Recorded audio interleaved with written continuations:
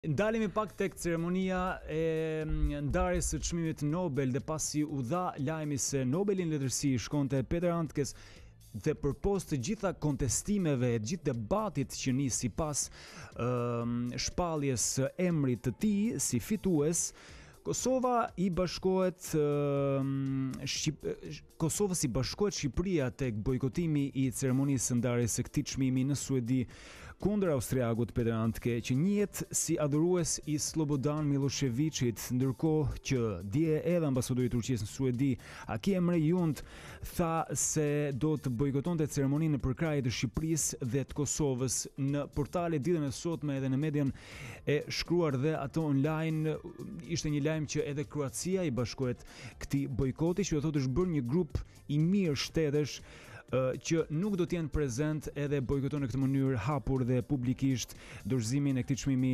për Peter Handken. Sipas ministrit të jashtëm Gent Cakaj, justifikimi i mizorive të luftës gjatë shpërbërjes së Jugosllavisë nuk duhet shpërblyer.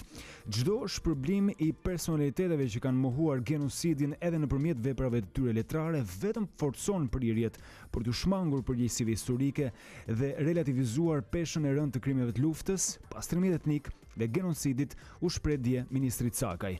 Edhe ministri i Jashtëm i Kosovës, Behgjet Pacolli, bëri me dije se kishte udhëzuar ambasadoren Shkëndije Geci Sherifi që të bojkotojë ceremoninë e dhënies së çmimit Nobel. Por pyetja është a mjafton me kaq? I njohur si adhurues i Millosheviçit,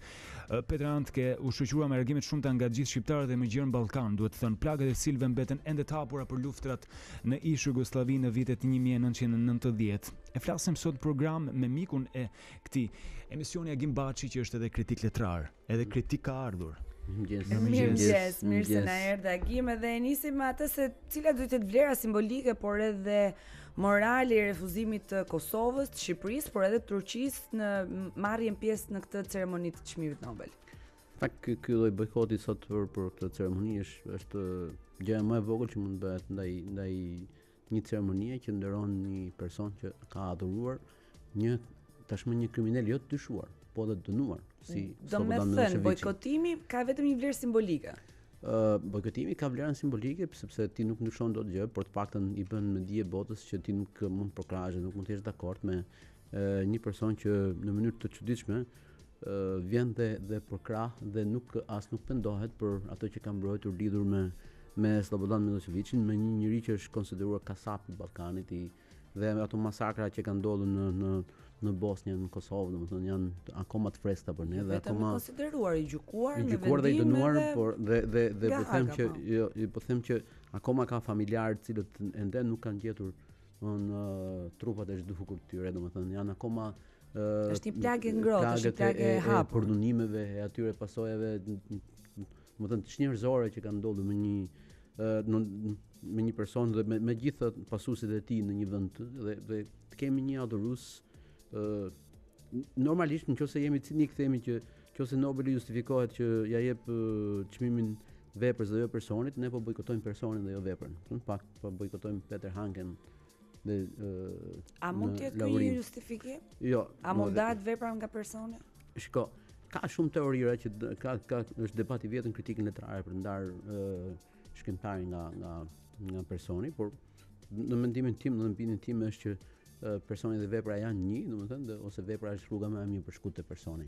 Megjithatë, ajo që e rëndon shumë këtë çështje është që Nobeli e ridimensionon veprën e dikujt dhe ridimensionon dhe, dhe Dhe kjo rrezikon që bashkë me veprën të ridimensionohen dhe qëndrimet e tij pro pro Millosheviqit dhe pro atyre masakrave, domethënë dhe kjo e bën të rëndë këtë këtë. Domethënë adhurimi i tij për Millosheviqin pas Nobelit merr një dimension tjetër po, dhe një përkrahje tjetër. Nobeli është një është një çmim që që ka ndjekësit e vet, domethënë dhe ka reputacionin e vet dhe kur të ti lauron me Nobel një një person të tillë që që ka përkrahur dhe as nuk është penduar, domethënë as mm. as pas dënimit. Pra ka shpërfillur edhe një dënim që nuk ka ardhur më si si pasojë thjesht se e dënuan shqiptarët e Kosovës apo boshnjakët. Mm -hmm. Është një gjykatë ndërkombëtare që e ka dënuar. Pra ka një vendim dhe një mendim të përbashkët, domethënë të këtyre uh, juristëve ndërkombëtarë. Do të thotë që a dhe kur ke, nuk ke ndryshuar as pas këtyre dëshmive, as këtyre fakteve, do të do thotë që bindja jote për të mbrojtur krimin dhe këtë aspektin çnjerëzor të një diktatori është është në bindjen tënde. Atëherë pse duhet të jemi domethënë me me me këtë person? Po, pse duhet të jemi me këtë lloj dhe ai në vepër madje ka vepra që e mbron hapur dhe këtë lloj mm -hmm. raporti të e glorifikon. Po. Ë pas Kosovës edhe Shqipërisë angazhohet edhe Ankaraja zyrtare. Si e sheh? Si e vlerëson, domethënë çfarë përshtypje të krijon? Unë besoj që edhe Kroacia, Kroacia është afër sepse ka qenë pjesë e betejës me Millosheviçin, mm -hmm. por është më afër mend që që mund të rreshtohet dhe ka ka pa, ka po, bërë një të tillë, por ë Turqia ka ka domethënë ka ka vendosur të jetë pro një një e, pro qëndrimeve të tyre vendeve që që për për kauzën, domethënë, është është interesant. Unë unë shpresoj në fakt t'i t'i bashkëngjiteshin dhe dhe vende të tjera dhe Ndoshta nuk ka ndodhur akoma ceremonia, mund të ketë vende të tjera që mund të Për cilat për shembull mund të shkojë mendja? Për cilat po mendon? Nuk nuk po mendoj, shpresoj që të ndodhin më ah, shumë, okay. sidomos vende evropiane, të cilët janë angazhuar dhe kanë mbajtur kanë mbajtur qëndrime të hapura kundër genocidit që ka ndodhur në Bosnjë dhe në Kosovë, domethënë.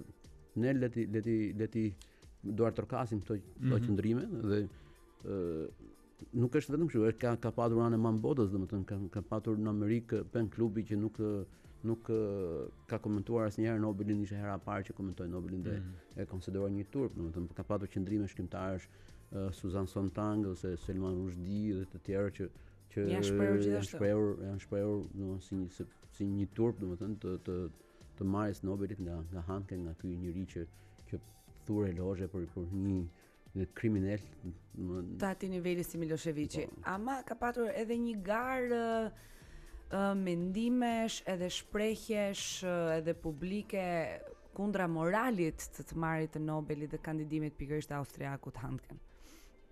Pa pa dyshim që ka, por por unë un, për shembull Në momentin e marrjes së Nobelit e kam shkruar dhe kam kam shkruar publikisht që kjo është një thirrje për të për dhe për moralin tonë, nëse ne i themi apo nuk i themi dot të vërtetat. Ëh. Mm -hmm. Sepse ka patur për shembull Akademia jonë e Shkencave ka patur një letër ndaj Komitetit Nobelit, por pyetja që bëja unë është që Akademia e Shkencave në këto 30 vite nuk ka mbajtur një qendrim për të dënuar krimet e komunizmit, ndërsa kjo një lloj është një lloj mungese hipokrizie, jo një hipokrizi, mungesë koherence, sepse kur nuk ke dënuar dot kur nuk ke patur një qendrim të hapur, domethënë si mund të shkosh deri te Nobeli, ose ke ke mundësinë të shkosh te Nobeli dhe me të drejtë shkosh te Nobeli, por kur ke bërë punët e tua, domethënë kur siç thotë që populli që Mos ndiz drita diku kur nuk ke qiri te shpia jote, domethënë, dhe këto nuk e kanë ndezur qiriun moral shpesh herë për të mbajtur qëndrime për këtu ku jemi, domethënë. Dhe kjo është e trishtë, ëh? Un jam dakord, jam shumë dakord që jo vetëm ne që kemi, domethënë, jo vetëm shqiptarët, jo vetëm shqiptarët e Kosovës, jo vetëm boshnjakët, jo vetëm kroatët që e kanë pësuar nga Milosheviçi, jo vetëm Turqia që mund të jetë një dashamirëse ose shumë vende të tjera që mund të jetë dashamirëse. Por ne vetë duhet të jemi të drejtë kur kur mbajmë qëndrime morale, sepse së pari duhet të mbajmë qëndrime për për vendin ku jetojmë, për për mm -hmm. të vërtetat tona, për të vërtetat që kemi kaluar, të të ndëshkojmë atë të cilën nuk duam të rikthehet më.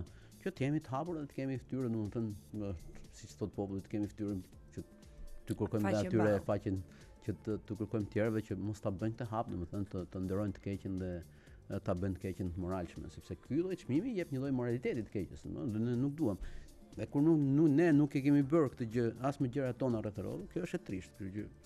Në një vështrim pas në kohë dhe duke iu referuar historikut të çmimit Nobel, mund të jetë ky një lloj precedenti edhe se nisur edhe nga zhvillimet edhe nga reagimet pas Peter Handkes që merr çmimin Nobel në letërsi Që mund të ndodhë edhe në vitet që ka patur, vin. Ka patur, shiko, ka patur për shembull, më tipik unë mund të përmend shumë emra shkrimtarë të cilët janë laureuar, por kanë qenë ose ose në adhurues të nazizmit ose të mhm. fashizmit, mm -hmm. por më tipiku për shembull është Gabriel Garcia Marquez, që ne gjithë e lexojmë dhe e duam shumë fort, mm -hmm. por bota ka heshtur kur ai në mënyrë të drejtpërdrejtë nuk jo vetëm që nuk ndihmoi, por i kërkoi të heshte poetit Padillo, një kubanez. Ëh, mm -hmm. i cili u ndëshkua domethënë nga Fidel Castro dhe ai as nuk bëri as më të voglën lëvizje edhe pse shumë kërkuan që, që ai të lejohej, domethënë ne nuk thamë, por nuk është vetëm ky rasti, pra ka nuk është vetëm tipike shqiptare kjo, ka heshtur mm -hmm. bota për mhm. shumë për shumë raste të tjera. Por Handke është është shkrimtari tipik i i i i një bote më komunikuese, më moderne që ë gjithçka pothuajse e komenton dhe vjen dhe vjen, fiton Nobelin në mënyrë të çuditshme. Ëh mm -hmm. duke duke rrezikuar që gjithë qëndrimet e tij t'i bashkangjiten veprës dhe të frymëzojnë të tjerët që të mendojnë se është normale ky ky lloj ky lloj krimi makabër i, i ndodhur në në fund shekullin e kaluar në në në Bosnjë dhe në në Kosovë. Në fakt në gjithë këtë diskutim edhe që kur është shpallur edhe që kur është dhënë zyrtarisht emri i tij si fitues e bëjmë ne duke dashur të sillemi mirë edhe duke dashur të mbajmë një qëndrim të mirë korrekt edhe diplomatikisht korrekt, po përgjithësisht për veten tonë e ndajmë ne shkrimtarin nga ëm um, qëndrimet e tij, e ndajmë ne shkrimtarin për veprën që sjell për lexuesin, që tek e fundi dikush që na dëgjon mund të mendojë që ok, ai është vlerësuar për veprën e tij dhe tani pse do t'i hyj disa gjërave të cilat ndoshta edhe më prekin më dhembin, po nuk më takojnë mua të gjykoj, pra aq kohë sa çmimi shkruhet edhe tek ë uh, kupa Nobel për letërsinë. Shiko, letërsia, domethënë, letërsia nuk është moral, por letërsia vendos shumë, ose uh, fundi i fundit njeriu është qenie kulturore. Mm -hmm. uh, dhe Handke, jo se është shkrimtar i dobët, është nga ato shkrimtarët e mirë, madje përshkrues shumë i mirë edhe një një nga ato virtuozët, po të themi për shembull po ta krahasoj me shumë nobelistë viteve të fundit mund të jetë mm -hmm. shumë më i merituar se to. Flasim për kur vjen puna për për për raportet e e, e Nobelit, Nobeli që jep dhe çmimin për paqen, nuk mund t'i japi një njeriu që ka mbajtur qëndrime kaq antipaqësore. Mm -hmm. Pra, në të njëjtin muaj të jep dhe çmimin për paqen. Mm Jep çmimin e paqes, po i njëjti komitet, ëh. Hm? Po mirë, a ka qenë i njëjti komitet që në një farë mënyrë ka heshtur teksa uh, mund të risjellim ndërmend rastin e Gabriel Garcia Marquezit që pretendohej se ishte adhurues i Castros që nuk foli as për jo, uh, rastin e Padillas kur uh, nuk ka heshtur vetëm si usht... nuk ka heshtur vetëm komiteti i Nobelit, ka heshtur edhe një botë e mbarë, domethënë një pra, botë të tërë. Mirë, duke e e e por, sill nga pas. Por uh, edhe sepse edhe një person mjafton, domethënë për të treguar natyrën e, e, e shkrimtarit që mund të bashkohet me të keqen. Dhe ne duhet të ndaj shkrimtarëve të cilët marrin shumë, ato të cilët sidomos që laurohen ose që janë kaq të njohur, dhe që marrin shumë nga lexuesi. Lexuesi pret nga ato, domethënë dhe një lloj shembull, dhe kanë autoritetin për të thënë. Dhe ky lloj autoriteti, në rastin e Handkes është shumë i dyshuar për t'i dhënë të tjerëve leksione se si mund të sillen në jetën e tyre. Ndaj dhe ndaj dhe duke qenë se fuqinë e madhe që ka Nobeli, fuqi përhapjen e madhe që merr libri dhe duke qenë se ky lloj këtë genocid e përkrah edhe në letërsinë e tij, mm -hmm. do të thotë që ne duhet të marrim qëndrime domethënë në raport me to dhe nuk mund të ketë një heshtje. Ajo që ajo që është thashë thelbësore është që ne si shoqëri të pyesim a t'i kemi ditur ne t'i dënojmë të këqijat edhe domethënë yeah. Jo. Mm. Kjo në kjo na bën hipokritë, sepse nëse ne i sulemi Handkes me shumë të drejtë, çështja është se çfarë kemi bërë ne për të dënuar atë të keqen rreth rrotull, domethënë mhm. mos jemi të keqë, të jemi kaq të moralshëm të përbotshëm, do të jemi kaq të moralshëm me gjërat rreth rrotull, domethënë. Mhm. Dhe teksa i afrohemi fundit për të kuptuar më shumë këtë perceptimin sepse ti je në këto qarqe letrare shumë shumë se qa, se sa jemi ne. Ka patur një lloj kurioziteti këtu tek ne për ta lexuar Handken shfrytëzuar, e ka është botuar. Ka patur një shtim.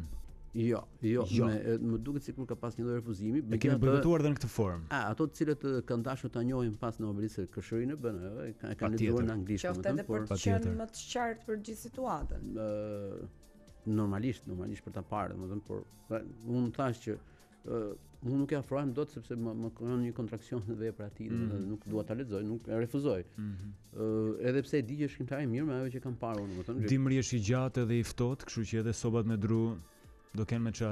Po, ngrohen sobat me dru dhe me letër me çfarë.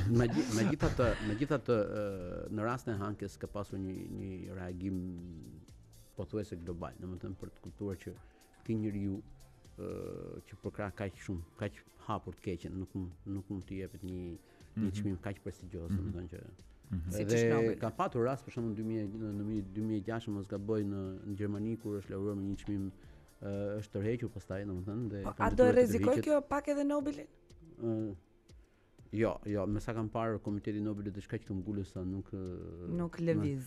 Ka jo, patur jo, edhe në perceptim për atë se si do të shihet në vijim çdo kandidaturë apo edhe çdo çmim. Dy anëtarë të Komitetit të Nobelit me sa kam parë unë kanë dhënë dorëheqje në në mm. në, mhm. në si qëndrim moral ndaj ndaj domethënë për kundërshtinë e tyre që kanë patur në rastin e e ishte e çuditshme se s'ka patur dorëheqje nga ata se ata janë anëtarë që zgjidhen mm -hmm. derisa të vdesin, por Ja që ka ndodhur. Ja që ndodh edhe kështu. Ja që ka ndodhur dhe, dhe gjithsesi ne duhet ne ky është një moment i, i Handkes për të kuptuar që ë uh, është e rëndësishme të themi të vërtetat.